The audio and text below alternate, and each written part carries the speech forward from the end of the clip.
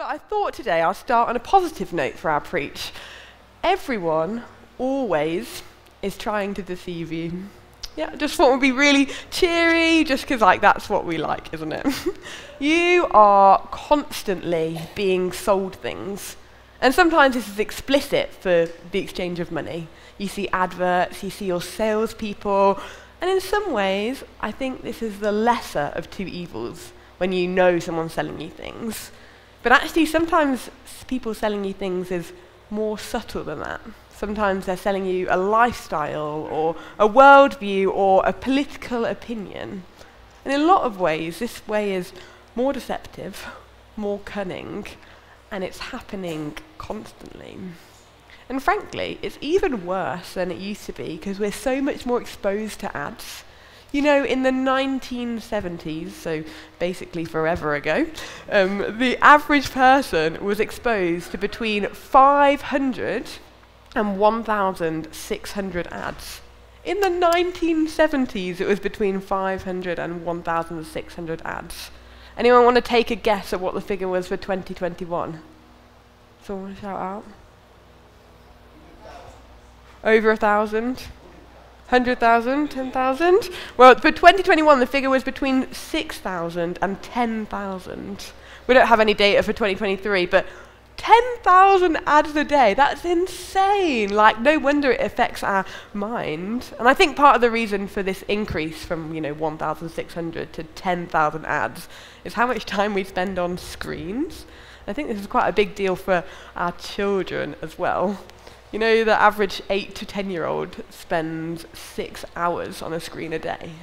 The average 11 to 14 year old, that's nine hours in front of a screen a day. And the average 15 to 18 year old spends seven and a half hours a day.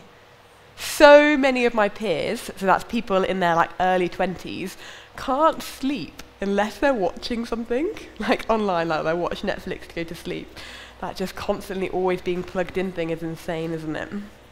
But it doesn't matter if you're young or if you're old or your lifestyle choices. We're being bombarded all the time with people selling us things, and it's a bit bleak, isn't it? And they're all pretty much selling the same thing, whether they want your money or they want to change your view on something or how you think or how you feel. They're all telling you that your life at the moment is unfulfilling. And this thing that I have, it will fill the gap. It will make you happier. It will make you healthier. It will make you sexier. It will give you more friends. And even the ones with the best intentions, they might change how you feel for a while. But in the end, they're just going to leave you as unfulfilled as you were before. Or maybe even more unfulfilled because you tried another strategy and it didn't work again. And it never works because the problem isn't the car you drive, it's not the extra pounds you put on over Christmas. The problem is so much deeper than that. And actually, it's universal to all human beings. And it's all to do with our broken relationship with God. I don't want you to all think now that I'm this scared person that's out of touch with the world and is running away from all screens and the internet and all ads and all the rest of it. Obviously, not everyone and everything has evil intentions, but everyone and everything is influencing you. And it is important that we're wary of the things that are affecting how we feel and how we think and what we do.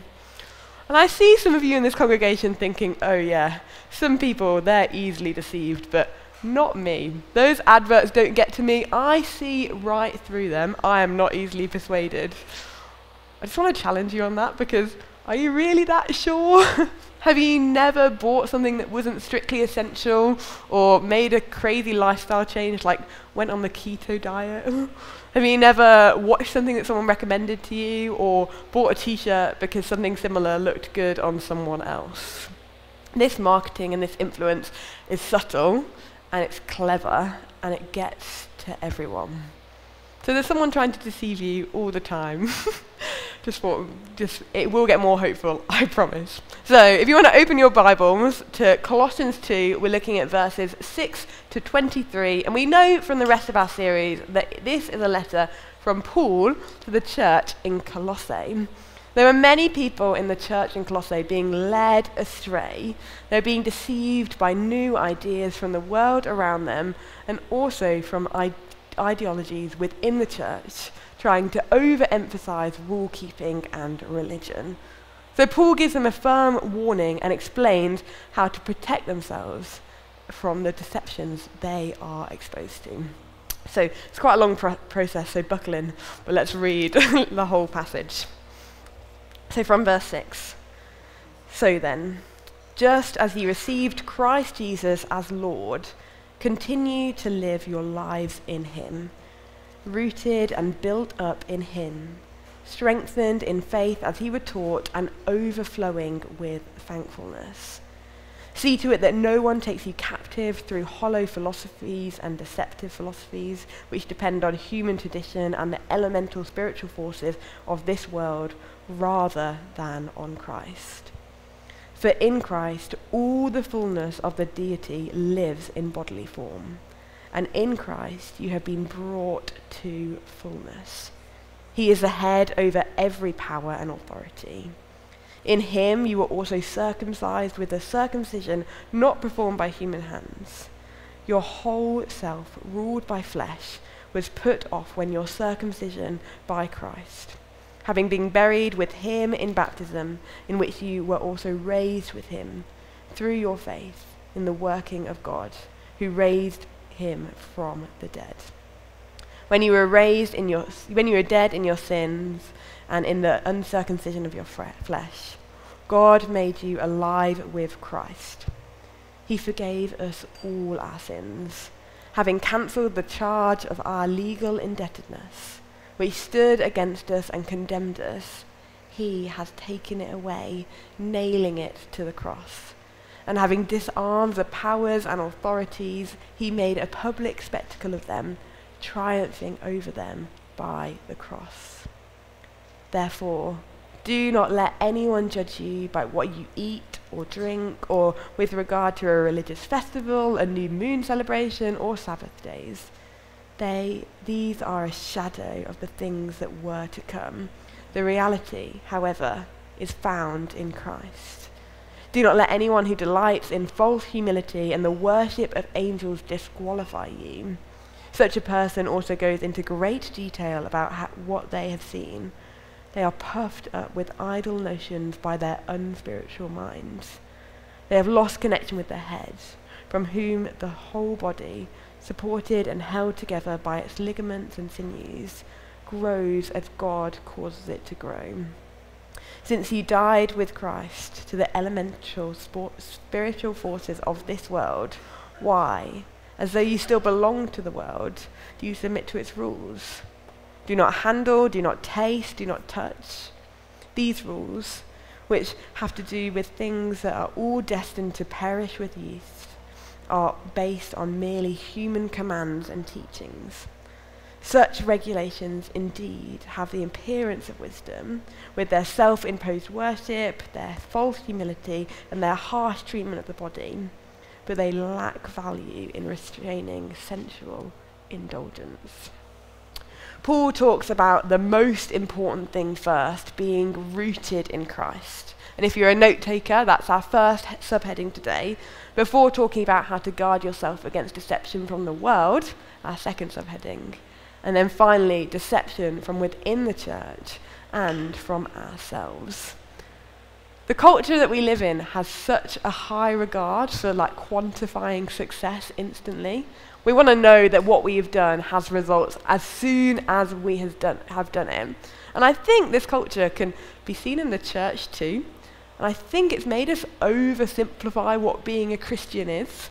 We often just count hands raised in a response time to an evangelistic talk or maybe tick that checkbox that says, I've prayed the sinner's prayer once and now I'm sorted. Wham bam, thank you ma'am, I'm not going to hell, silver bullet, all done. Rather than actually measuring the true success of people growing in their relationship with Jesus or people moving along their journey to say faith. In verse 6 it says, So then, just as you continue, received Christ Jesus as Lord, continue to live your lives in him We've got to remain in him. It's not just a one time commitment. And Paul uses the idea of trees rooted in soil to illustrate this. I work in the Pear Tree Cafe um, in the Ashton Hall Garden Centre, if you know it, and my commute to work is along the canal. So I go up the canal onto the Ashton Road um, every day, and it's a pretty nice commute as like it goes, and I cycle it.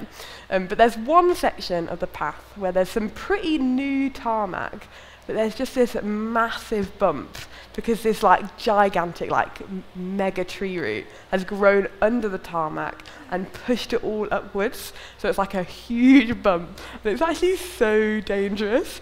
In the winter, when I cycle back in the dark, I don't really know quite where it is. So I'm holding onto my handlebars, hoping it won't chuck me off when it comes up any second, filled with dreaded anticipation. But it makes me laugh because there is that tree has been rooted at any cost. Not even a turn of tarmac. I think there's so many times when like workers have come to try and remove it, can get rid of that tree root. And Paul uses this idea to paint a picture. He talks about the fact that a strong tree must have strong roots in strong ground. If it doesn't, how could it weather a storm? And how can it get the nutrients that it needs to grow? Our roots being in Christ means that He is our foundation and He is what makes us strong. And actually, we should be getting our nutrients from Him, which is much easier said than done. When you've had a really long day and you're desperate for a rest, do you actually want to go and sit in His presence and maybe listen to some worship music? Or do you want to lie in bed and watch Netflix? Or if you need comfort, do you sit and pray, Lord, comfort me? Or do you eat a massive bowl of pasta like I do? Or when you need money, do you pray for Jehovah Jireh, the provider, to give you what you need? Or do you become really tight fisted and ungenerous with what you have? For a tree, everything comes from the roots, and that's its foundation. And that's what it should be for us with Christ. This year has been a year of not knowing for me. Been uncertain on a lot of things. I didn't really know what I wanted to do for a career, didn't know what a city to live with, live in, I didn't know where to live. I didn't really have an idea of what the future was going to look like at all. And sometimes that's been easy to trust God. And actually, I've just accepted God's got a plan for me, and that is good. And that's been really valuable. But other times it's been much harder, particularly when last Wednesday I knew I was moving out on Monday but didn't have anywhere to live yet. Side note, such good news. Me and Sim have found a place to live, and I love it so much. And it was just God's perfect timing and His abundant provision. But in those times where I was struggling to trust God with all those unanswered questions, there was one day where I sat down and just thought, I'll write down the times before when I've not known what's coming and like it's worked out okay. So I sat down and I wrote down, you know, the obvious bullet point that comes to mind straight away. But then I wrote down another one and another one And I just ended up feeling it's like a whole page of times where I've really not known which way to go. And God has been so faithful. And I was just so grateful, like so grateful for God for his faithfulness. I think there's a positive feedback loop with thankfulness and closeness to Christ. The fact that the more thankful we are, the closer to Christ we become. And the closer we are to Christ, the more thankful we are as well. And I think this is what Paul is talking about in verse 7 when he talks about overflowing with thankfulness. And when we're thankful and close to Christ, we're protected from deception. So that's the most important way to protect yourself from deception. Stick to Jesus, not just one time, but always stick to Him, being rooted in Him, letting Him be your strength and your foundation, and where you get what you need, overflowing with thankfulness and being close to Him. This gives us such a strong base for not being deceived. Like in a battle, you get to stand next to the strongest warrior, which is why if I was in the Lord of the Rings, you wouldn't find me far away from Aragorn at all. so that's our first point done. Moving on to countering deception from the world. I didn't actually start a timer, so we'll see how this is going. um, so um, the church in Colossae were being bombarded with so many different philosophies and worldviews and novel ways of thinking from all over. Does that sound familiar at all to your life? that actually we are being overwhelmed with other people's beliefs and philosophies and novel ideas and kind of feel like people are out to get you. They're always trying to convince you that they are right, that they see things the right way, and you don't. And the Church of Colossae were just exposed to so many different gods. And their response to that was often just to add Jesus into the mix, you know. They'll worship this idol and that idol, they'll worship this person and that ancestor, and they'll just worship Jesus as well as all those other things. Does that sound familiar? It's not so obvious because our idols don't look the same, but maybe Monday through Saturday we worship money and sex and entertainment and how we look and food. But then on Sunday mornings, you know, between 10 and 12, we worship God. That's our slot for Jesus. the world is a place full of very clever people who have amazing ideas that are much smarter than anything that I can think of. So, how on earth can we protect ourselves from being deceived from that? Says in verse 8 See that no one takes you captive through hollow and deceptive philosophy, which depends on human tradition and the spiritual elements of this world, rather than on Christ. So when it boils down to Him, if you stumble across something really clever, if it's not Christ, it's not it. Even when it feels like the answer and feels super logical and rational and widespread, if it's not Christ, it's not it. And that's because Christ is so big that it is actually all about him.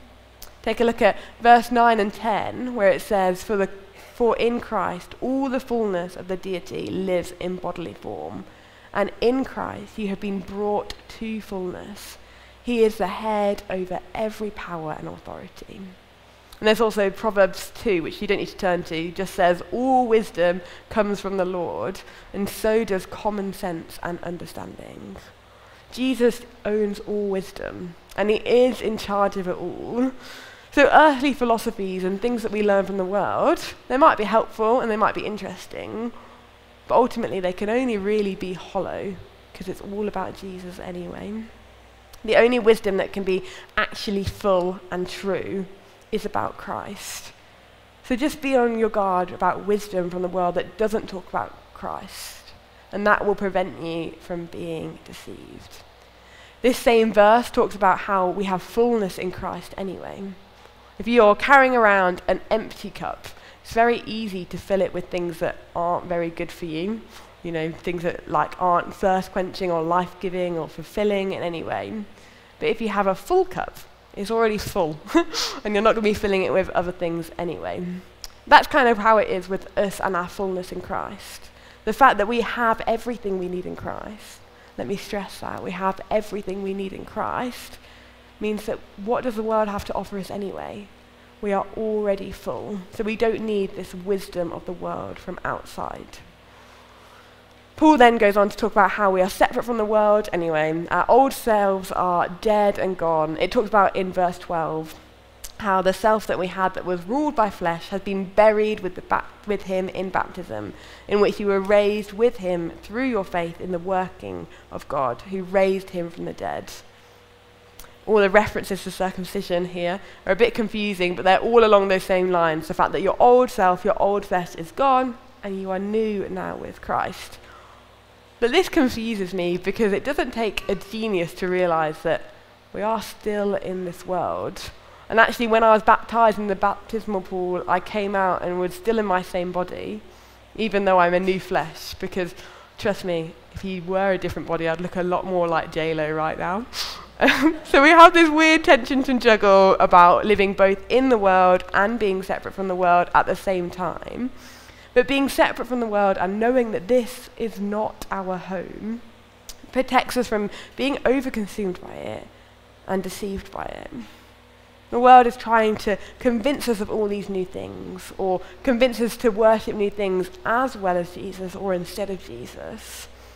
But frankly, we can protect ourselves from this deception by knowing that if it's not Christ, it's not it. Because the world is all about its creator that we are already full in Christ, so we don't need or want the wisdom the world has to offer, and we're separate from the world anyway. Okay, coming into my last point now, so we're getting there. But the last point is about countering deception from the church and ourselves. I'm a bit of a biology geek. I studied biochemistry at university, and I'm pretty into immunology. Does anyone know what immunology is? It's the study of the immune system, so your body's defense to, you know, all the germs around you. But I thought I'd give you a quick biology lesson, but I'm going to make it as simple as possible. So every cell is covered in antigens. So my cells have my antigens, your cells have your antigens, my cat's cells has her antigens, you know, bacteria cells has theirs, etc., etc., etc. And my immune system, what protects me from disease, knows what antigens are mine. So when a white blood cell's, you know, wandering around my body and comes into contact with one of my own cells, it recognizes it by its antigens and it won't destroy it because they're friends. It's good to be there. But when something foreign enters my body, maybe Campylobacter, which is the cause of lots of food poisoning, enters, when the white blood cell sees the antigens on that, it realizes, oh, that is not our friend, I do not recognize that, and we'll destroy the cell and we'll mount an attack against it. That's one of the reasons cancer is actually so hard to treat, because cancer originates from our own cells, it's got our own antigens on it. Countering deception from the world is really difficult and it's cunning and sly, but at least it's covered in the world's antigens. You know where you got it from. But actually countering deception from in the church and from ourselves can be a lot harder because it's kind of covered in our own antigens. Do you ever see someone, maybe in this church or in churches in the past, and you think, oh gosh, I wish I could be as spiritual as them? I bet they read their Bibles so much. Oh, God just talks to them so loud. Why won't He talk to me as loud as He talks to them? And sometimes it's legit. You do get people who like just display Jesus so clearly. But we should be warned, and Paul does this in verse 18 and 19, that actually it's not always what it looks like. People can look very spiritual, but actually be disconnected from God be separate from Christ, be not rooted in Christ. Just because somebody looks very Christian doesn't mean you should believe everything they say. And you should still be wary. There's countless times when actually Christians have been led astray by someone who seems really charismatic, but it's not preaching what's right. And it's sad. We've got to weigh up, you know, what they say, where even when they're in the church, test what they say about against scriptures and look at the fruit of their ministry even when it's in church. I was a nanny on and off for four years, um, and I nannied a seven-year-old girl who was too clever for her, her, own good. Have you ever met little girls like that? A bit too clever. Um, and it was pizza wraps on the menu for dinner. Very easy to make. You put a wrap down, you put your tomato sauce on it, you put your cheese, your sweet corn, grill it, bish bash bosh, the simplest dinner in the world. She was determined it, she was going to help me make dinner. She was really holding on to this fact. So I was like, yeah, fine, we won't fight this battle. You can help me. I gave her all the ingredients and she put the wrap down, she put the tomato sauce down, and before she'd even put the cheese down, she managed to knock it off the counter. Of course, it fell tomato sauce down, sweep it all up in the bin, and she insisted that she tried again. So I gave her all the ingredients to try again, and she managed to assemble it this time. And as she was passing it to me so I could put it in the grill for her, she dropped it again. Tomato size side down, couldn't use it, all in the bin, start afresh. I begged her to just let me do it for her, but she refused. Once again, she had finally assembled a third pizza wrap this time. We got it in the grill. Phew. We got it cooked. I got it out of the grill. I sliced it up for her. She sat down on the table. I put the plate in front of her. All she had to do was pick up a slice and put it in her mouth. And she flicks the plate, all on the floor, all side down. At that moment, I could have grabbed her by the shoulders and shaken her. Stop helping me! Please, please stop helping me. In the church in Colossae, there was leaders who were convincing people that actually there was extra rules to the Christian life that you should follow to please God and to earn your salvation. And sometimes in churches, there's an undertone of the same thing. And I think we have our own natural inclination to be like, if we follow rules, maybe we can convince God to love us more, or maybe we can earn our own salvation. But actually, I think God wants to grab us by the shoulders and shake us and be like, stop helping me. Because when you're trying to help me, you're just adding complications of pride and guilt. Just accept the freedom that I've won for you. Verse 20 and 21 then says, Since you died with Christ to the spiritual forces of this world, why, as though you still belong in this world, do you submit to its rules? Do not handle, do not taste, do not touch we are already free. So why do we try and put ourselves in chains? Stop doing that and accept the freedom that Christ has won for you. We've got to be on our guard from this because it's kind of a lifelong journey. We realize and have a moment of re- revelation that we are free and we don't have to follow rules because of what God has won for us. But then we forget and we start trying to follow rules to win our freedom again. But then we have a revelation again, and it's just a journey, so we need to be aware of it, so we don't get deceived by people in the church or by our natural inclination. So, in conclusion, thank you for bearing with me. Um, we've looked at how the church in Colossae were being deceived. Sounds familiar, right? And the best way, if you only take one thing away from it, this is it to not be deceived, is to stick firmly to Christ to be rooted in Him. We've got to guard ourselves against deception from the world. It's not Christ, it's not it. We're already full, we're separate from the world, so we don't need its wisdom anyway. And we've got to guard ourselves from deception in the church and from ourselves. From people who look super spiritual but maybe aren't the real deal. And from people who tell us that there's more rules to follow. Because actually, we're free. Let me pray. Thanks for listening. Yeah. Heavenly Father, thank you that actually there's nothing that we can do to convince you to love us more. Thank you, God, that you have completely won our freedom for us. And thank you, God, that when we are near you and close to you, we are protected and we are safe. That although this world is a scary place to live in and everything that we see is difficult to navigate, Lord, you are with us and you help us. And we are really safe in your arms.